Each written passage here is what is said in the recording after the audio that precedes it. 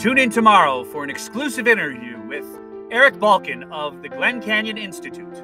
Um, talk to you a little bit about this 500,000 uh, gallons of, uh, or actually acre feet of water that's going to be released from Flaming Gorge into Lake Powell. Even with those very drastic efforts, uh, it's still projected that Lake Powell is going to be within spitting distance of minimum power pool in less than a year.